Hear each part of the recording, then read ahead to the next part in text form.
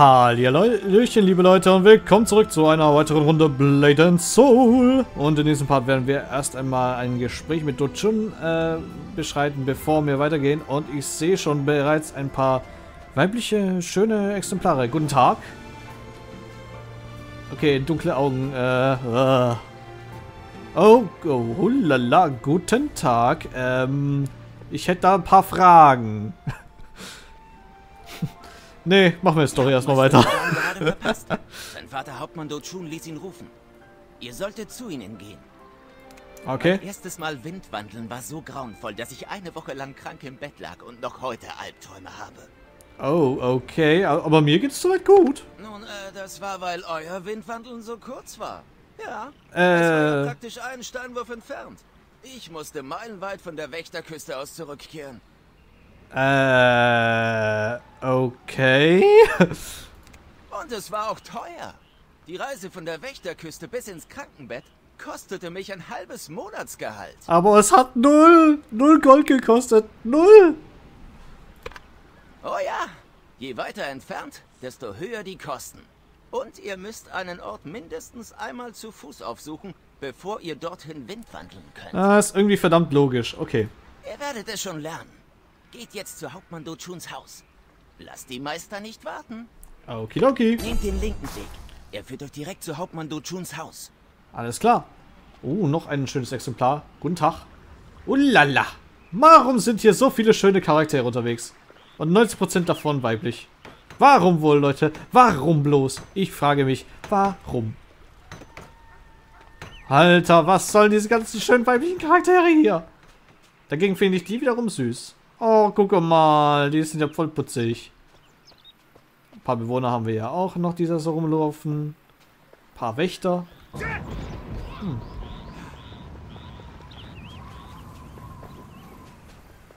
Recht hübsch hier. Manche von den Leuten haben hier doch spezielle Embleme drüber stehen. Hm. Keine Ahnung, was es damit auf sich hat. Naja, gehen wir mal in Dotschutz raus. Gucken mal, was da los ist und so. Ah, da ist er auch schon. Ah, da ist einmal Dodan und einmal Dutschun. Na, sprechen wir mal mit Dutschun. Alles in Ordnung? Ich hörte, ihr hattet mit Hauptmann Guan zu tun. Äh, yep. Ich entschuldige mich für meinen Sohn. Ich stehe in eurer Schuld. Da ist aber sowas von recht, dich zu entschuldigen, Alter. Dieser Bastard hat uns sowas von in Gefahr geritten und... Äh, oh, da drüben steht er, ja. äh, never mind. Ich habe Späher der Wache losgeschickt, um nach Jin Yun und ihren Handlangern Ausschau zu halten. Es ist nur eine Frage der Zeit, bis wir sie finden. Ihr solltet sie aber allerdings nicht bekämpfen. Ich meine, sie hat den Meister zerschnetzelt wie sonst etwas, aber... Fühlt euch in diesem Dorf wie zu Hause. Danke, dann nehmen wir das Angebot an. Ich euch noch gar nicht meine Familie vorstellen. Meinen Sohn Dodan kennt ihr bereits. Äh, ja, den kleinen Spießer, den kleinen Spasti kennen wir inzwischen, ja. Vor längerer Zeit habe ich auch eine Tochter adoptiert. Nam Soyo. Ach so, ist sie ja ist eine Adoptivtochter von Dochun, die Nam Soyo. Alles klar. Sie müsste jede Minute hier sein. Ah, was können wir denn hier? Spread the Home Moon. Uh, sweet. Nice. Hm. Oh, Cutscene.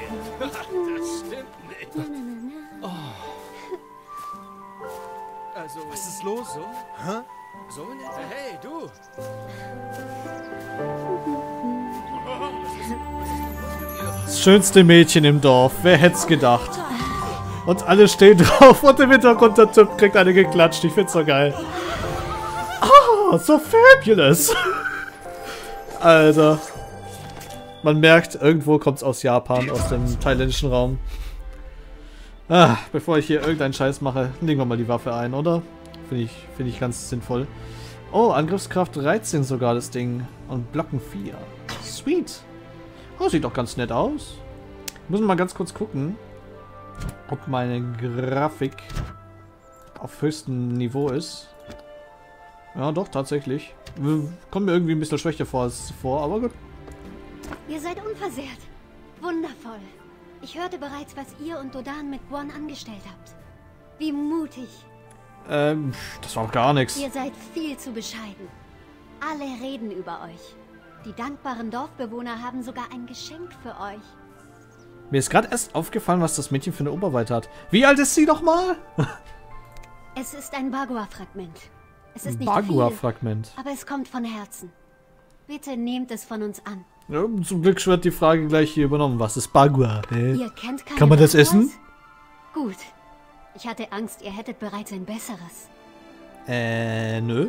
Sie wirken auf alles Mögliche. Stärke, Verteidigung, Geschwindigkeit. Äh, sowas wie nicht, wie genau. Sockel? Aber sie helfen beim Training und den Kämpfen. Okay. Äh, ja, genau. Wie benutzt man die Dinger? Baguas landen in eurem Inventar. Drückt B, um den Bagua-Reiter zu öffnen. Hm, okay. Zieht dann das Bagua und legt es in dem Feld für die Bagua ab. Oder aktiviert ihn mit Rechtsklick. Simpel, was? Hm. Sehen wir mal, wie euer neues Bagua aussieht. Ah, da kriegen wir direkt eins. Eid der Bambuswache. Da kriegen wir 10 LP dazu und 2 Genauigkeit. Ach, das ist ein Set-Effekt. Okay, das, ist ja interessant. Also eine Art Set, die man, das man anlegt. Besteht aus Runen. Aha. Okay, und man legt die dann so an, hat einen Set-Effekt und kann die dann so... Okay, interessant. Naja, gut. Wir hätten mehr vorbereiten sollen. Aber es wurde so viel gestohlen. Tut mir leid, dass wir kein Bagua mit demselben Namen fanden. Mm, Ja, das ist nicht. Es ist halt so schlimm. Wir brauchen halt wahrscheinlich alle acht Teile, um die, volle Wirkung zu starten von dem Teil. Baguas funktionieren am besten in Gruppen Mm, von drei, drei, fünf und acht, oder ja. acht Fragmenten. Dann sind sie viel effektiver. Baguas funktionieren nur, wenn man Kleidung trägt. Die Wachen fanden das heraus. Ich fragte nicht nach. äh, ich glaube, das ist besser so. Ich hoffe, es hilft euch. Bestimmt sind alle begeistert, euch mit unserem Bagua zu sehen. Ja, warum nicht? Fühlt euch hier wie zu Hause. Habt ihr den Bürgermeister schon kennengelernt? Er hat bereits nach euch gefragt. Hm, bisher noch nicht. Ihr solltet euch bei ihm vorstellen. Er ist sehr freundlich. Hm, okay. Oh, was kriegen wir denn hier? Beutel der Handelsunion der Drachen. Erweitert Inventar, Lager oder Garderobenplätze. Oh, sweet. Ja, dann schließen wir mal ab, oder? Oh Gott! Oh Gott! Was ich alles bekommen habe gerade. Stufe 4 erreicht. Und dafür habe ich eine neue Fähigkeit bekommen. Sensenhieb. Drei Meter. Und das in so einem Zirkelbereich. Okay. Ha. Muss ich mir mal anschauen. Erstmal gehen wir auf das Inventar. Ja, stimmt. Ich habe inzwischen vier davon. Eine habe ich geschenkt bekommen per Post von, vom Spiel, von den Entwicklern. Okay, und damit kann man dann einfach Inventarplätze freischalten. Ich glaube, das machen wir gleich einmal. Inventar wird erweitert. Und dann zerbröselt das Ding und man hat Platz. Oh, nice. Das nächste Mal brauchen wir acht. Acht von den Dingern. Alter, das ist ja echt hart. Ich hoffe, die kriegt man auch teilweise durchs Spiel. Kleidungsverziehung, äh, Armband, Gesichtsversierung, Halsschmuck, Ohrring, Gürtel, Seele. Aha. Ich, ver ich vermute mal, Ohrring und Halsschmuck sind auf jeden Fall Ausrüstungsgegenstände, Seele wahrscheinlich auch. Und Ring eventuell auch. Gürtel eventuell auch. Allerdings bei, bei Kopfverzierungen und so weiter bin ich nicht mehr sicher, ob das nicht vielleicht so sogar nur kosmetisches Zeug ist. Das werden wir alles noch rauskriegen, denke ich mal. Haus des Bürgermeisters. Let's go. Oh, Hallihallöchen, alter Mann. Ich bin Daigu, Bürgermeister des Bambusdorfes. Und ihr? Äh, die Stimme kommt mir verdammt bekannt vor irgendwie. Hm. Ich weiß nicht woher. Naja, gut. Sagen wir einfach Bescheid. Dojun hat uns Ihr geschickt. müsst die Person sein, über die alle reden. Wunderbar. Ihr Hier in dem Dorf passiert wohl nicht sehr viel, äh, äh, wie es aussieht, oder? Ich hörte, ihr wollt eine Weile bei uns bleiben. Fühlt euch bitte wie zu Hause. Ja, gerne. Für den Wiederaufbau nach dem Überfall könnten wir jemanden wie euch brauchen. Bitte helft den Dorfbewohnern. Ah, natürlich gerne. Ah, Guak Chill fragte nach euch. Er kann nicht aufstehen, daher bittet er euch, ihn im Haus der Heilung zu treffen. Äh, ja, wer ist denn dieser Quack Jill? Das wusstet ihr nicht? Er sprach dauernd von euch. Geht zu ihm, wenn ihr Zeit habt. Danke für eure Hilfe. Äh, du hast unsere Frage nicht beantwortet. Sehr schön. Geht jetzt. Ist Quack Jill eine Krankheit, mit der ich mich anstecken kann? Oh, hier sind auch ein paar blaue Pfeile aufgetaucht. Alter, so, so viele, so viele schöne Charaktere. Zieht euch das rein. Was mich allerdings wundert, manche von den äh, Uniformen. Also es ist die gleiche Uniform, die ich trage, die vom Humun Clan. Manche haben solche äh, langen Strümpfe, manche wiederum nicht. Was hat's denn damit auf sich? Hm. Naja, sprechen wir mal mit der alten Frau hier. Äh, okay, man kann Waffen aufwerten, okay. Ne, wir können ja, sie zu verbessern. Dann müssen lediglich eine Opferung darbringen. Okay, das ist eine Waffe, die ihr opfert, um eine andere zu verstärken. Aha. Elemente und einige Waffen haben sie ja Stände Opferung. Elementar, das, okay. Aufgehört waren wir werdet auch vielleicht da. Warte, ich zeige es euch. Okay. Hast ihr ja aufgabe Waffe aus, dann klickt auf Ausrüstung verwalten. Ja gerichtete Abfallen ein und stellt klickt Verstärkung eurer Waffe. Okay.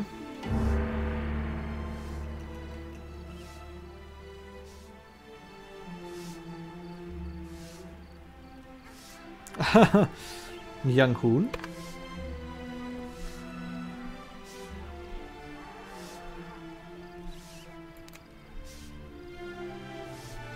Ah, das Questlogbuch haben wir dann mit J, okay.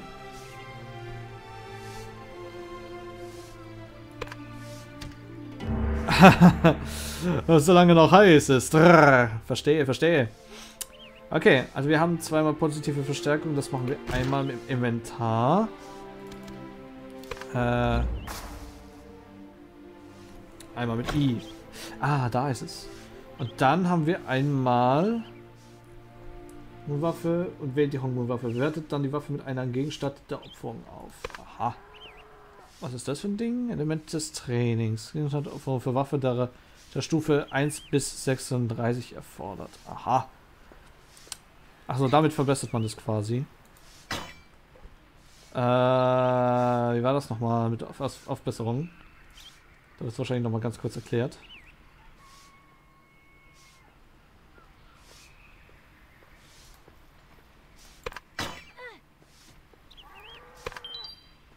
Ah, nee. Da vielleicht? Nein. Ah, wenn man nur kurz mit der linken, mit, mit der linken Maustaste draufklickt. Ah. Aussehen ändern, Ausrüstung verwalten, anlegen. Ah, Ausrüstung verwalten. Okay, dann kann ich die auswählen und was zur Aufopferung erstellen, nämlich so ein Element des Trainings. Grundkosten 2, zusätzliches Material habe ich gerade keins da. Okay, dann veredeln.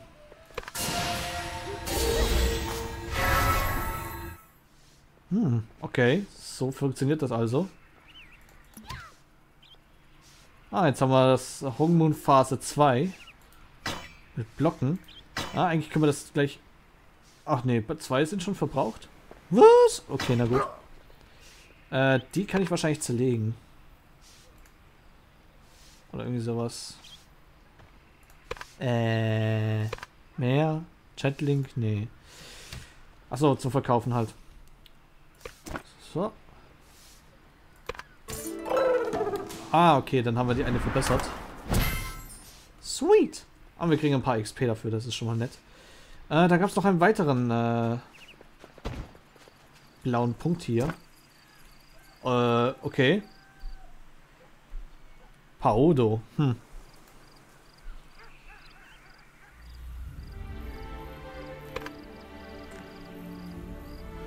Achso, das ist so eine möchtegern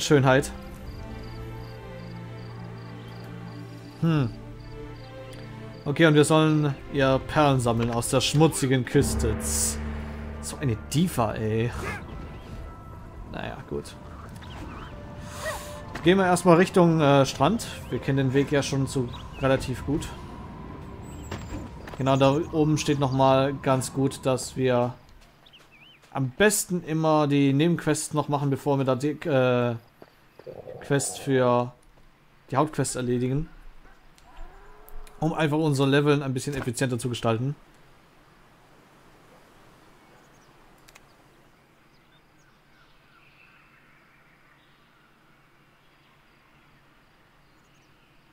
okay.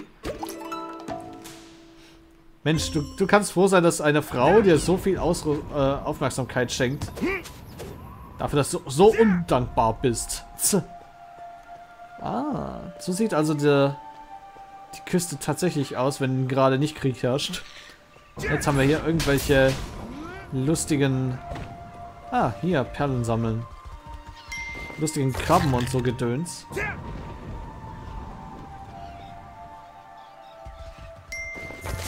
Okay. Da ist noch eine Perle. Autsch! Oh, hier sind noch ein paar von diesen Leuten unterwegs. Boom, Bitch! Ah, wie, ich habe eine Fähigkeit 2. Wow, das ist ja mal cool. Das ist cool. Okay, kann ich das auch in der Luft einsetzen? Oh shit, kann ich. Boom. Ich merke schon, das äh, wird ziemlich cool werden, das Kampfsystem. Jetzt gehen wir auf jeden Fall mal zurück und äh, geben mal die Quest ab. Die Ausdauer verbraucht sich allerdings immer so schnell. Man sprintet ein bisschen durch die Gegend und dann ist man gezwungen, wieder ein Päuschen zu machen. Aber macht das eigentlich einen Unterschied, wenn ich stehe, statt zu... Oh, anscheinend ja nicht, von der Regen Regeneration her. Alter, uns schon wieder so viele, äh, äh so viel äh, Goldbots unterwegs. Dabei habe ich so viele Leute schon geblockt.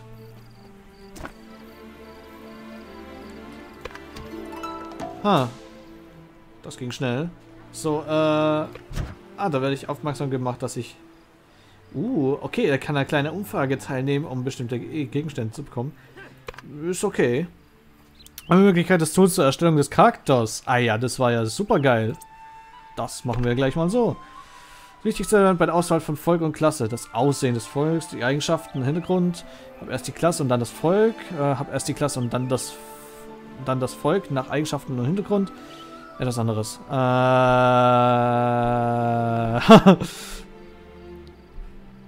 eigentlich erstmal nur nach Aussehen des Volkes. Aber wenn man es technisch sieht, weil eigentlich bei meinem Anfang habe ich hm, erstmal auf die Klassen geguckt und dann nach dem Aussehen. Und ich glaube, das machen die auch. Nützlich waren die Optionen der Charakter an sich, also Zoomen, Kleidung, Posen und so weiter. Jawohl, super nützlich. So, wie nützlich war die Schwierigkeitsbewertung bei der eher weniger nützlich. Ich, ich, wüs, ich wüsste immer noch bis heute nicht, was die Schwierigkeitsbewertung genau heißt bei den verschiedenen Klassen. Wovon das berechnet wird. Ach, und wir dürfen hier noch was eintragen. Verbesserungsvorschläge und so ein Scheiß. Hm. Genauere Beschreibung der und der des Zustandekommens. Hey, die Leute machen da hinten PvP. Was zum Fick? Aha, die tragen beide rote Klamotten und da trug eine blaue. Ah, das werden wir wahrscheinlich auch noch zu be äh, spüren bekommen. Irgendwann. Ähm, dann kommt der Schwierigkeitsbewertung. There we go. Cool, dann kriegen wir ein paar Geschenke. Jetzt haben wir noch im Inventar eine Meldung. Schlüssel haben wir bekommen. Öffne Truhen und Schatztruhen. Erforderte Quenge hängt von der Gegenstandsqualität ab. Okay. Mhm. Kann ich das irgendwie sortieren hier? Ich weiß noch nicht. Hm. Ah, auf Stufe 6 kriege ich dann meinen nächsten Umfragebogen. Okay. Jetzt gehen wir erstmal äh, zum Haus der Heilung wo dieser äh, Gwakjun erst einmal wartet. Mit dem einen, der angeblich so ein toller Fan von mir ist. Ah, dieser Gwakjil. Warte, sind die verwandt? Der arme Gwakjil ruft schon den ganzen Tag nach euch. Danke, dass ihr kommt. Ähm, wer ist dieser Gwakjil eigentlich? Er ist hinter euch. Ihr brachtet ihn nach dem Angriff zu mir. Ach, das war der Verletzte, den wir gefunden haben auf dem Schlachtfeld. Okay. Er wird länger nicht aufstehen können. Vielleicht wird er sich nie ganz erholen. Bitte geht zu ihm. Mm, gut, machen wir. Diese miesen schwarzen Rammen. Seht nur. Oh, der arme Kerl, der ist immer noch bettlägig. Ich danke euch. Helft mir bitte hoch, damit ich mich vor euch verbeugen kann. Du bleibst schön im Bett, im Bett Ich mein Lieber. versucht. Ich rannte so schnell ich konnte, aber sie erwischten mich. Ich wollte ein Held sein. Tut mir leid, dass es so viele nicht zurückgeschafft haben. Ja, dafür kannst du doch gar nichts dafür. Erhol dich einfach, Ich genau. bin bald wieder fit. Es ist nur ein Kratzer. Bald kämpfe ich wieder. Ihr werdet sehen. Also, ich würde jetzt an deiner Stelle erstmal das Maul halten und schlafen. Weil du bist in ganz schlechter Verfassung und ich habe keinen Bock, dich äh, rea zu reanimieren, wenn du Scheiße Der baust. arme Quackchill kann vielleicht nie mehr gehen. Er halluziniert bereits den ganzen Tag lang. Vielleicht ist er ein bisschen beschucke. Es schmerzt mich, ihn so zu sehen. Seit die schwarze Ramme seine Schwester tötete, Oh. ist er härter zu sich selbst als je zuvor. Er gibt sich die Schuld. Hm, Wahrscheinlich hat er ein richtiges Trauma dadurch erlitten. Mit dem richtigen Heilmittel könnte ich helfen. Aber die schwarze Ramme hat unsere Vorräte geplündert. Wenn ich das Hilfsmittel nicht rechtzeitig bekomme, werden seine Knochen schief zusammenwachsen. Ich brauche Hilfe. Und wir sind genau der Richtige, der dir helfen wird. Okay, zum Bambusstrand. Vielen Dank. Bringt es mir und ich erledige den Rest. Aber seid bitte vorsichtig. Wir können ihn retten. Alles klar, legen wir mal los. Gute Taten erledigen und so. Wuhu! Yeeha! Wahoo! Wihihi! Ja, das ist eine Referenz an Mario gewesen gerade. Schon wieder so einer mit so einem Symbol. Sieht aber freakig aus, der Kerl.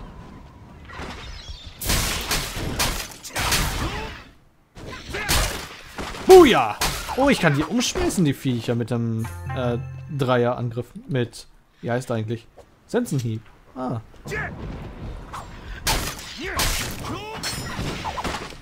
Killstil! Scheiß Magier. das kenne ich, kenn ich sogar aus, aus äh, Ragnarok Online noch.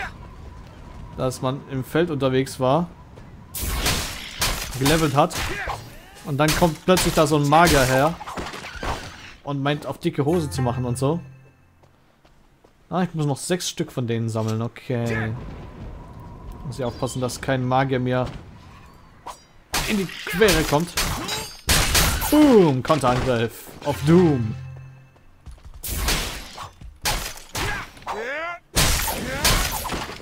Bam. Ah, jetzt haben wir keinen Fokus mehr. Zumindest nur einen Fokus, das wird nicht reichen. Ah, er wird schon angegriffen. Ah, das Fiese bei Anfangsgegenden. Immer so viel los. Dung dung. Boom. Das mit dem Konf Konterangriff ist bei Klingenmeister echt was Geniales.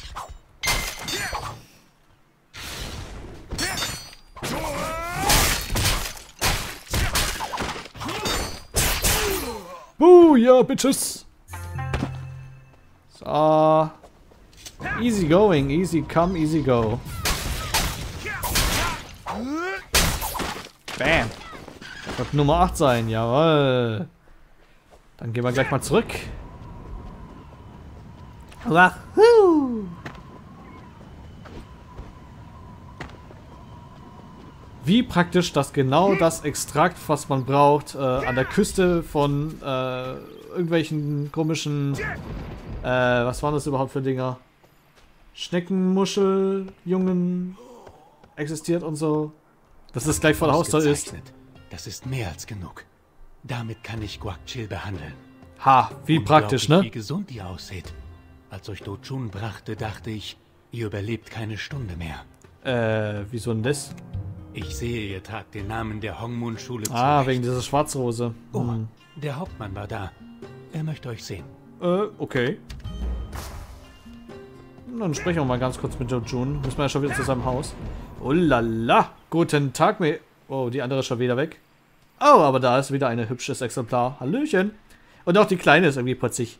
Oh Gott, haben die alle so schöne Haare.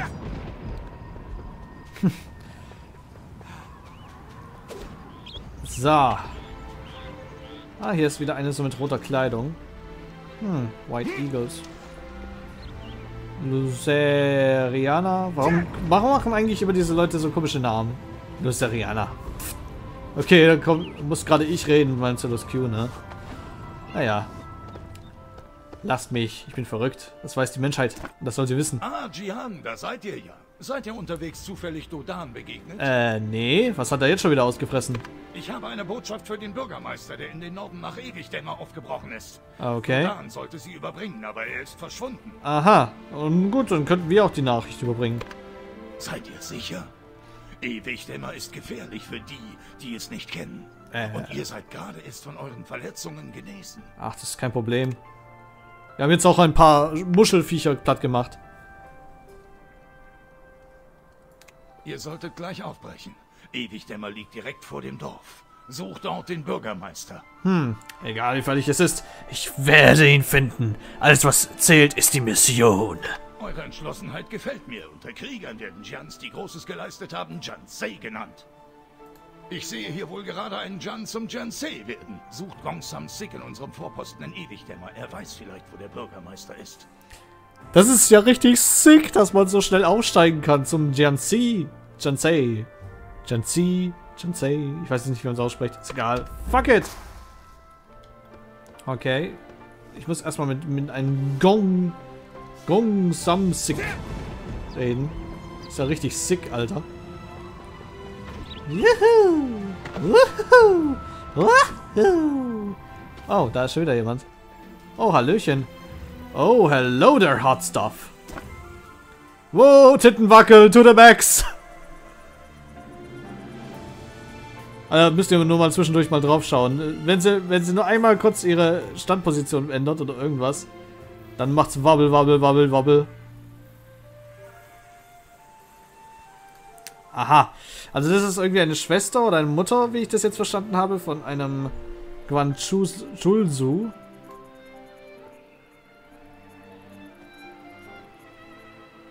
Und äh, ja, da soll jetzt der Armee beitreten, mehr oder weniger hinterrücks von seiner Schwester Chulwan. Und wir sollen die frohe Botschaft ein bisschen überbringen, wie es aussieht. Na gut. Äh, na gut, machen wir das.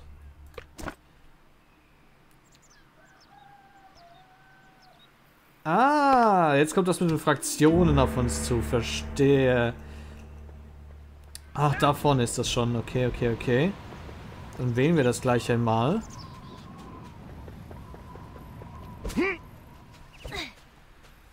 Ah, da stehen die zwei. Hast schon gesehen? Okay, da gibt es einmal den... Die Coeli... Den Coeli-Orden... Coelin-Orden? Äh. Und dann gibt es den Kamin... Die Kaminlegion, okay. Aber weißt du was? Weißt was? Irgendwie trägt jeder hier rot.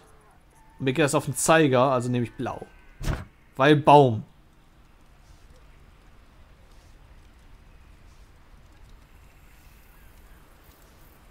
Okay, aber zum Glück sind die beiden Fraktionen relativ ausgeglichen, wie es aussieht. Äh, genau, den Coelin-Orden beitreten. Jawohl.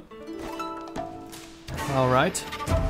Ah, und dafür kriegen wir eine nette, nette Kleidungsstück. Uniform des Coelin-Ordens. Da ist er ja. Prüfung des Rats der Acht. Im Gegensatz zu dieser legen hier einige Zeit in Anspruch. Okay. Ah, und wenn ich der Effekt von dem Ding ist, wenn ich den trage, dann ist die Kamenten-Legion mir feindlich gesinnt. Okay. Sprich, alle, die rot tragen, sind dann meine, meine Enemies, meine... Okay, so wird das PvP also geregelt. Auch interessant so eine Art öffentliches PvP. Ich weiß gar nicht, ob es ein richtiges PvP gibt. In dem Sinne werden wir vielleicht auch alles noch rauskriegen. Würde ich jetzt nicht mal direkt machen, während wir hier Endcard machen. Also machen wir das vielleicht im nächsten Part. Und ja, ich würde mal sagen, wir werden dann den, bis, äh, den äh, diesen Mokdun suchen. Ja, das, so heißt er eigentlich, dieser, dieser junge Mann, dem wir die gute Nachricht überbringen sollen. Wir sollen einmal den Mokdun suchen, ihm die schöne Nachricht überbringen, dass er jetzt Teil der Armee ist. Und äh, dann sollen wir anschließend Gong Samsik suchen den Bürgermeister des kleinen Bambusdorfes und äh, ihn, ja, die Nachricht überbringen von Dunchun. Also machen wir das im nächsten Part. Bis zum nächsten Mal, Leute. Macht's gut und ciao, ciao.